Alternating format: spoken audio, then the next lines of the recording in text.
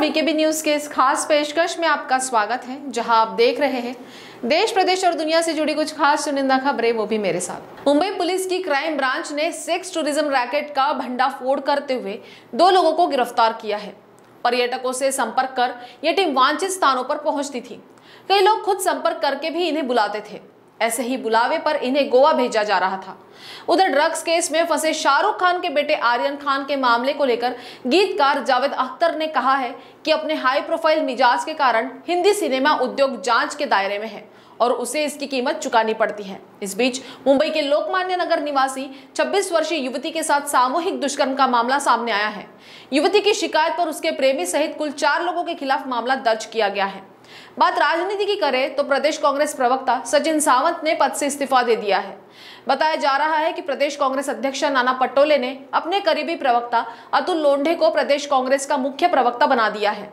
अहम खबर यह भी है कि क्रूज ड्रग्स पार्टी मामले में गिरफ़्तार आर्यन खान की जमानत आवेदन पर नारकोटिक्स कंट्रोल ब्यूरो की विशेष अदालत शुक्रवार को अपना फैसला सुनाएगी। इसके बाद तय होगा कि आर्यन आगे भी जेल में रहेंगे या फिर उन्हें जेल से छुट्टी मिल जाएगी। प्रदेश की इन पाँच बड़ी खबरों को विस्तार से जानने के लिए बने रहे हमारे साथ। मुंबई पुलिस की क्राइम ब्रांच ने सेक्स टूरिज़्म रैकेट का भंडाफोड़ करते हुए दो लोगों को गिरफ़्तार किया है। पुलिस ने इस कार्रवाई के दौरान दो पीड़िताओं का रेस्क्यू भी किया।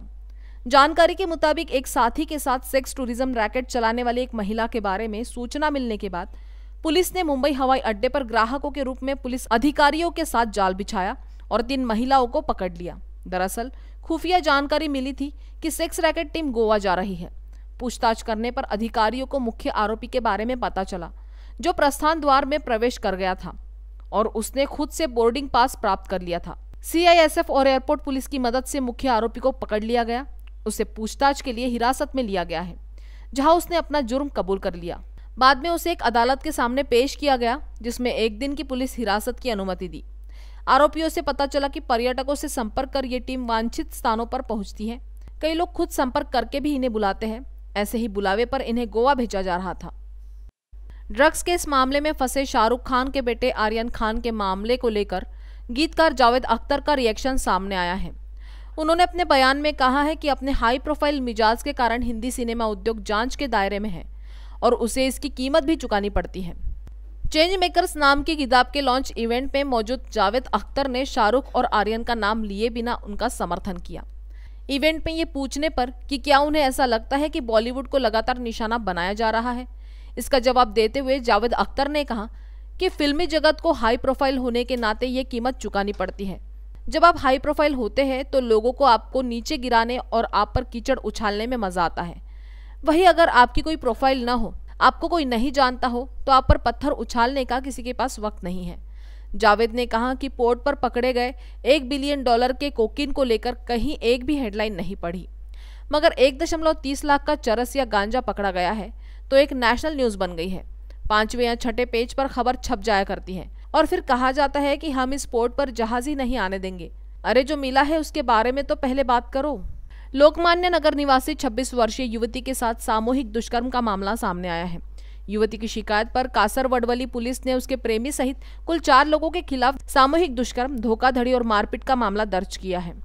पुलिस के अनुसार महिला एक बार में वेटर है। बताया गया है कि 2019 में वह गोविंद राजभर नामक युवक के संपर्क में आई थी। राजभर से उसकी नजदीकी बढ़ी तो राजभर ने उसके साथ शादी करने का वादा किया। आरोप है कि राजभर ने फ्लैट खरीदने के नाम पर साढ़े सात लाख रुपए और कुछ गहने युवती से लिए थे। इसी दौरान राजभर ने उसके साथ शारीरिक संबंध बनाए और चोरी छिपे उसका अश्लील वीडियो बना लिया। राजभर ने वीडियो वायरल करने की धमकी दी। उसके साथ उसने और उसके दोस्तों ने दुष्कर्म किया। कासर वडवली पुलिस स्टेशन के मुताबिक फरवरी 2019 से अगस्त 2021 तक राजभर अपने दोस्तों के साथ युवती का शोषण करता रहा और आखिरकार परेशान होकर युवती ने आरोपियों के खिलाफ मामला दर्ज कराया है। आरोपी नाला सुपारा के रहने वाले बताए गए हैं। राजभर के दोस्तों के नाम का खुलासा नहीं हो पाया है, क्योंकि महिला उनके नाम से परिचित नहीं है। प्रदेश कांग्रेस प्रवक्ता सचिन सावंत ने पद से इस्तीफा दे दिया है। सूत्रों के अनुसार पार्टी अध्यक्ष सोनिया गांधी को लिखे पत्र में उन्होंने कहा कि वे चाहते हैं कि पार्टी उन्हें कोई और ज़िम्मेदारी दे। बताया जा रहा है कि प्रदेश कांग्रेस अध्यक्ष नाना पटोले ने अपने करीबी प्रवक्ता अतुल लोंढे को प्रदेश कांग्रेस का मुख्य प्रवक्ता बना दिया है। इससे दुखी होकर सावंत ने प्रवक्ता का पद छोड़ने की इच्छा पार्टी हाईकमान से जताई है। दरअसल प्रदेश अध्यक्ष पटोले ने प्रदेश पदाधिकारियों के काम की ज़िम्मेदारी तय की है। इसके तहत नागपुर के अतुल लोंढे प्रदेश कांग्रेस के मुख्य प्रवक्ता बनाए गए हैं। तो भाजपा से कांग्रेस में आए अमरावती के डॉक्टर सुनील देशमुख को पार्टी के विभिन्न प्रकोष्ठों की ज़िम्मेदारी सौंपी गई है। सचिन सावंत इसके पहले मानिकराव ठाकरे, अशोक चौहान व बाला साहेब थोरात के प्रदेश कांग्रेस अध्यक्ष रहते प्रदेश प्रवक्ता की ज़िम्मेदारी संभाल चुके हैं। मौजूदा प्रदेश कांग्रेस अध्यक्ष नाना पटोले की टीम में भी प्रवक्ता बनाए गए थे, पर अब पद से हटाने के कारण वे नाराज़ है। सूत्रों का मानना है कि नाना पटोले की टीम में ऐसे एक अनेक चेहरे हैं, जो अन्य नेताओं से जूनियर है, इसीलिए बगावत हुई है। क्रूज ड्रग्स पार्टी मामले में गिरफ़्तार आर्यन खान की जमानत आवेदन पर नारकोटिक्स कंट्रोल ब्यूरो की विशेष अदालत शुक्रवार को अपना फैसला सुनाएगी। इसके बाद तय होगा कि आर्यन आगे भी जेल में रहेंगे या फिर उन्हें जेल से छुट्टी मिल जाएगी। कई दिनों की लंबी सुनवाई के बाद विशेष अदालत के न्यायाधीश वीवी पाटिल ने 14 अक्टूबर 2021 को आर्यन के जमानत आवेदन पर अपना फैसला सुरक्षित कर लिया था। आर्यन को 3 अक्टूबर 2021 को गिरफ़्तार किया गया था। फ़िलहाल वह न्यायिक हिरासत में है और उसे भाईखला स्थित आर्थर रोड जेल में रखा गया है। इससे पहले मजिस्ट्रेट कोर्ट ने आर्यन को जमानत देने से इनकार कर दिया था। लिहाजा आर्यन ने विशेष अदालत में जमानत के लिए आवेदन दायर किया है। वरिष्ठ अधिवक्ता अमित देसाई ने कोर्ट में आर्यन की ओर से पक्ष रखा। जबकि एनसीबी की ओर से additional solicitor general Anil Singh ने अपना पक्ष रखा था। श्री सिंह ने कोर्ट में सुनवाई के दौरान आर्यन की जमानत का विरोध करते हुए दावा किया था कि आर्यन ऐसे लोगों के संपर्क में था जो अंतर्राष्ट्रीय स्तर पर ड्रग्स की खरीदी से जुड़े नेटवर्क का हिस्सा है। प्रथम दृश्य जाँच के दौरान इसके संकेत मिले हैं। इस पहलू की विस्तार से जाँच की जानी ज़रूरी है। मानसून वापसी की घोषणा के बाद देश के कई राज्यों में बारिश ने कहर ढाया है। उत्तराखंड में भूस्खलन से मुसीबत और बढ़ गई है। बचाव व राहत कार्य तेज कर दिया गया है। मौसम विभाग ने और तीन दिन के लिए अलर्ट जारी किया है। उधर जम्मू कश्मीर में हालात ठीक नहीं है। बाहरी मजदूर घर जाने के लिए विवश है। ट्रेनों में सीट नहीं मिल पा रही है। लंबी वेटिंग लिस्ट बनी हुई है। इस बीच परेशानी वाली खबर यह है कि भारतीय राष्ट्रीय राजमार्ग प्राधिकरण ने राष्ट्रीय राजमार्गों के करोड़ों सड़क यात्रियों की सुविधा के लिए सुखद यात्रा मोबाइल ऐप शुरू किया था। ये ऐप इच्छित लक्ष्य को पाने में विफल रहा। इसे लेकर संसद की एक समिति ने उसकी खिंचाई भी की है। राहत भरी खबर यह भी है कि हमारे विज्ञानी डेंगू की दवा बनाने में कामयाब हो गए हैं। अब दवा का मेडिकल कॉलेज में ट्रायल किया जाएगा। उधर रेलवे बोर्ड ने भारतीय रेलवे स्टेशन विकास निगम को बंद करने का आदेश जारी कर दिया है। इसके बंद हो जाने के बाद अब स्टेशनों के पुनर्विकास योजना पर जोनल रेलवे अमल करेंगे। देश के इन पाँच बड़ी खबरों को विस्तार से जानने के लिए बने रहे हमारे साथ। भारतीय मौसम विज्ञान विभाग ने आने वाले दिनों में देश के कुछ हिस्सों में भारी बारिश होने का अनुमान जताया है। भारत के कई हिस्सों में मानसून के विदा होने के बावजूद दिल्ली, उत्तराखंड और केरल में बीते कुछ दिनों में भारी वर्षा हुई है।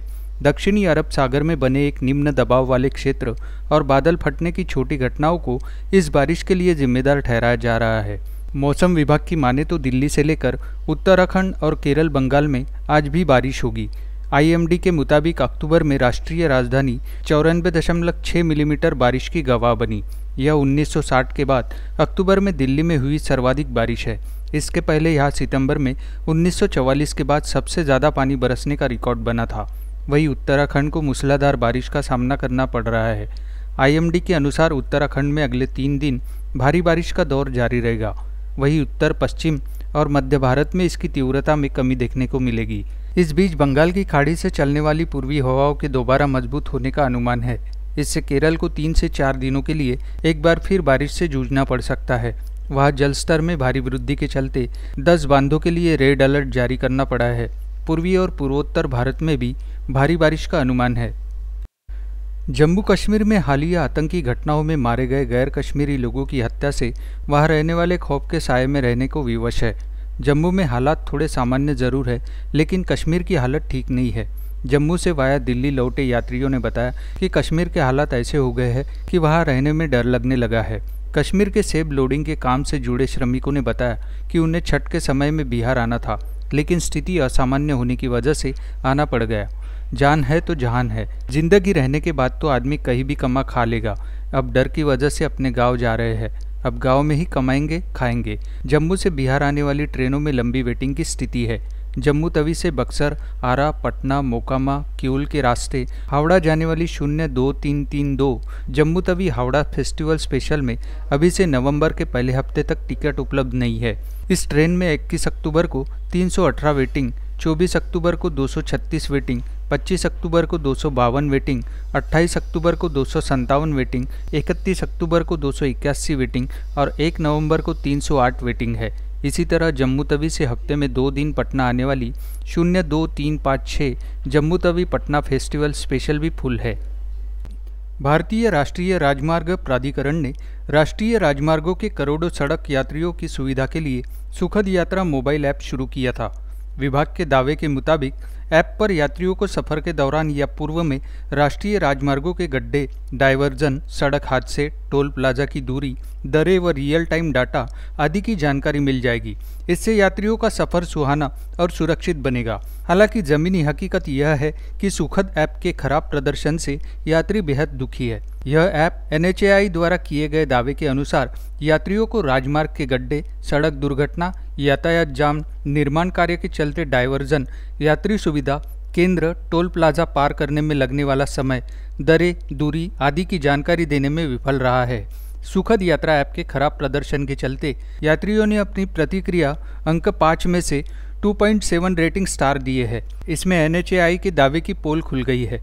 संसद की एक समिति ने भी अपनी रिपोर्ट में सुखद यात्रा ऐप की खराब रेटिंग पर एनएचएआई की खिंचाई की है। समिति ने कहा कि सुखद यात्रा ऐप अपने इच्छित लक्ष्य को प्राप्त करने में विफल रहा है। इसका समाधान किया जाना आवश्यक है।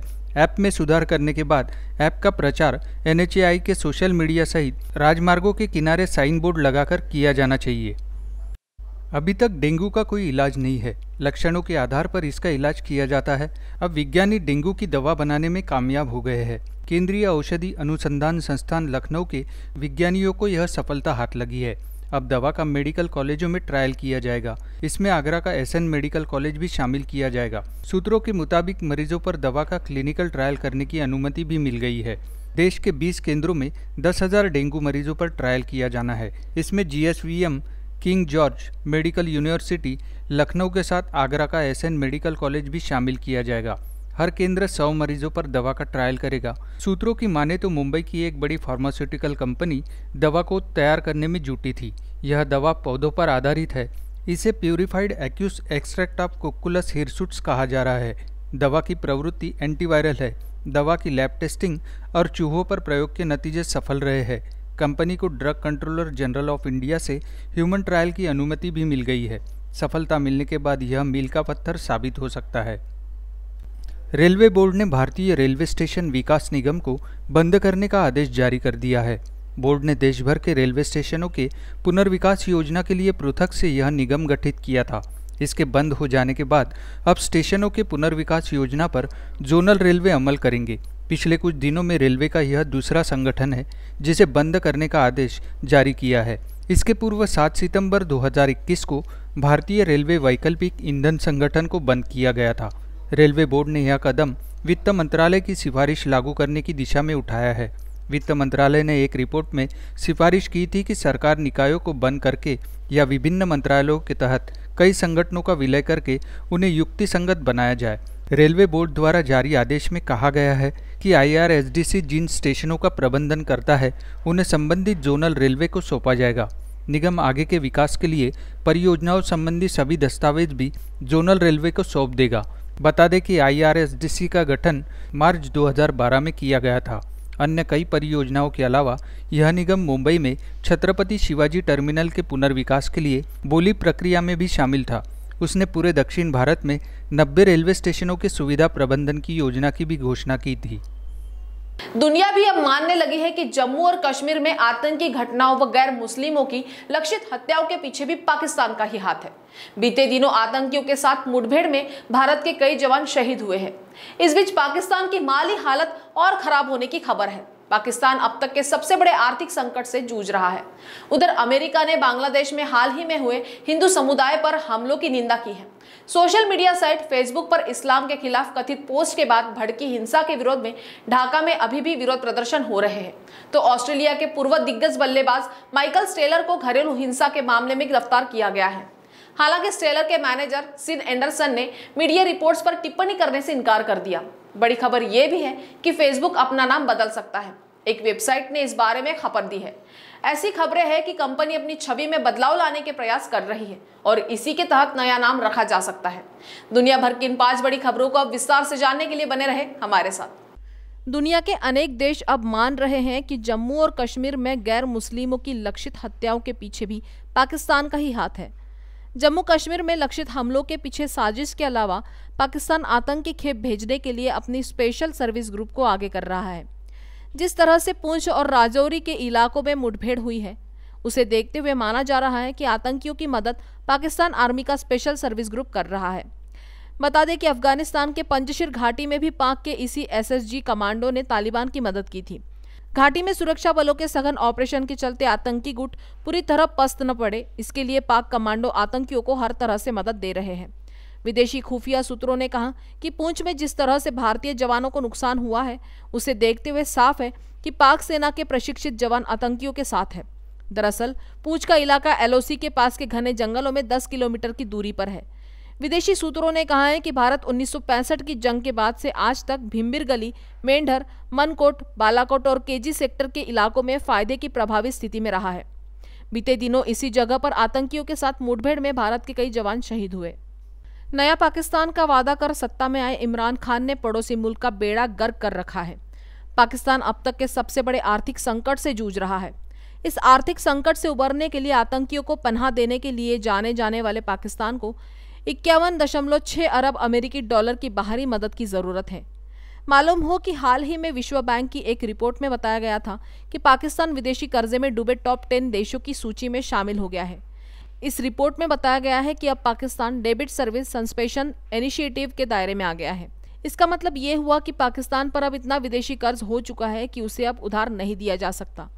विश्व बैंक की रिपोर्ट कहती है कि पाकिस्तान का विदेशी कर्ज आठ फ़ीसदी बढ़ा है। इसी साल जून में एक रिपोर्ट आई थी, जिससे पता चला था कि इमरान सरकार ने विश्व बैंक से 442 मिलियन अमेरिकी डॉलर का कर्ज लिया था। पाकिस्तान को कर्ज देने वाले विश्व बैंक और एशियन डेवलपमेंट बैंक भी है।